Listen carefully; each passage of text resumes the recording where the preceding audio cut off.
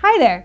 The natural dye world has endless opportunities for combining different dye materials to create different shades of color. So that's what we're gonna do today. We're gonna combine onion skins and marigolds to dye not only wool, but also cotton.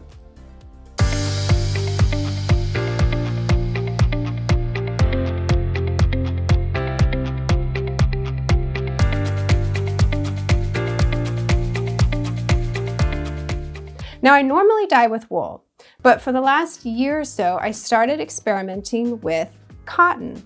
I like wool because it's an easier fiber to use and the colors generally are more saturated and vibrant than when using a plant fiber. That's because the fiber structure on something like cotton or linen is completely different than on the fiber from a sheep. So on a plant fiber, there are fewer receptacles for the dye to absorb into. So you're not gonna have as many opportunities for those particles to bond together. The color will generally not be as saturated or vibrant, and you'll generally get a paler shade. So in the past, I've avoided the plant fibers, but I have to say I've been pleasantly surprised with my experiments. So today I wanted to show you both. So I have a skein of 100% wool that was mordanted with aluminum sulfate and 100% organic cotton that was mordanted with, I'm gonna say this wrong, aluminum acetate, I think? Okay, anyway, they've both been pre-mordanted with alum. So let's talk about what we're going to dye them with. Now I have marigolds, which is one of my favorite dye flowers. It was the first video that we ever did was dyeing with marigolds. And we have onion skins. Onion skins are a great thing to have in your dye supplies because they not only make their own fantastic dye, actually this was dyed with onion skins, but they can also be used to supplement a dye. So for instance, I don't have enough marigolds to dye this. These together is 100 grams. So I don't have enough marigolds to dye both skeins. I mean, I could, but it would be a paler color. So I can use onion skins to sort of um, jumpstart that color, to give it some vibrancy, some saturation, to really brighten it. So because I knew that I was gonna be dyeing with onion skins, I did a preparation that kind of um, moves the dye process along because onion skins can take a little bit of time to, um, for the dye to release. So what I did was I took my measured amount of onion skins. So I used about 40 grams of onion skins and I put them in my jar and then I just poured over hot water. I mean, it can be from the tap hot, it can be boiling water, either is fine. Seal it and then I leave it for 24 hours. And you can see that without doing anything, the color is already fantastic. So this is already ready to put in the dye pot.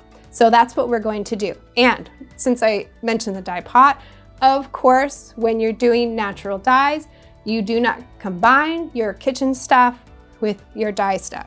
So even though this looks like a great pasta scoop, this is going to be a yarn scoop only. Okay, now let's get to dyeing. I'm gonna simply dump all of this into the pot.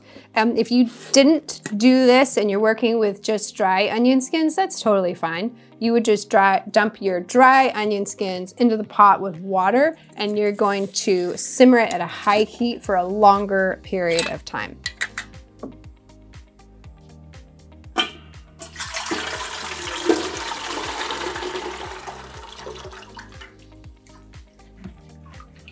So put it all in there.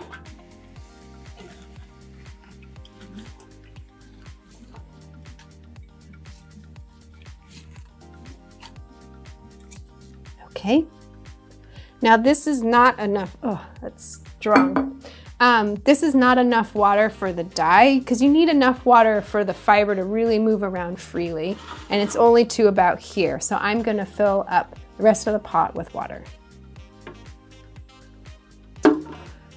Okay, and then now I can add the marigolds Now you could always heat the water up for a while and then add marigolds, or you can add marigolds now. Either way, the dye is gonna work. There's a lot of wiggle room with natural dye, at least with marigolds and onions. So I'm just gonna add the marigolds in directly.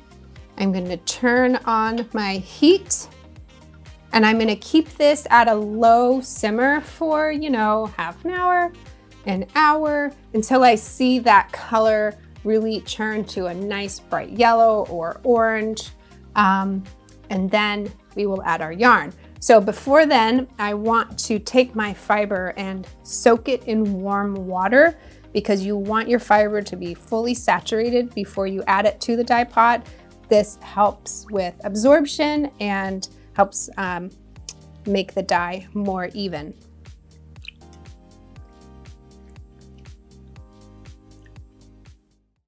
So I've had my onions and marigolds simmering for an hour and I wanna bring something up which I probably should have brought up earlier on, and that is if you're gonna do this dye, especially with onion skins, you should probably either do it outside or make sure if you do it inside that you have a lot of ventilation because the smell can be bothersome. I have actually developed quite the sensitivity to onion dye. So whenever I've been checking this, I have to wear a mask because if I breathe in too many of those fumes, I get a massive headache.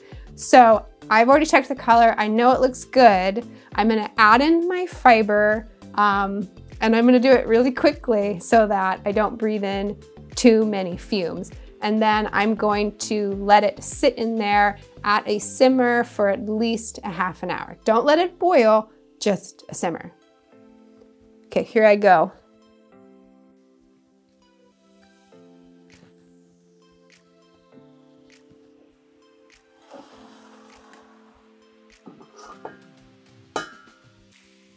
Oh, it looks amazing. So here's my cotton.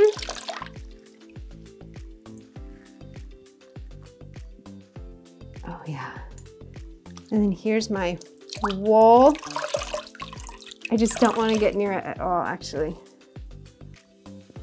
So if you have like a hard time cutting up onions, definitely do this outside.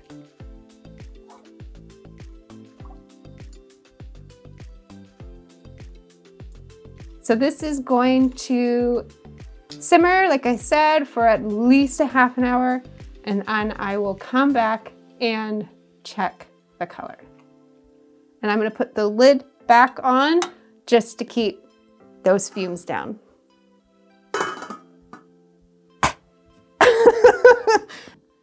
so I'm ready to pull my yarn. So I have my mask back on.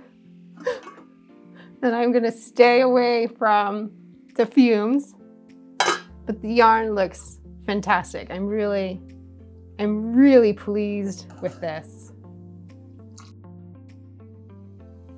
This is the wool. Oops. Let me move this over a little bit.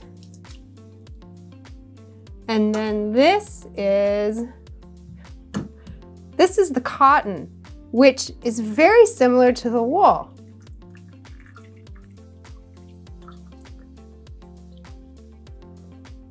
So I can tell that the wool is a bit brighter, but the cotton still has a lot of really great color.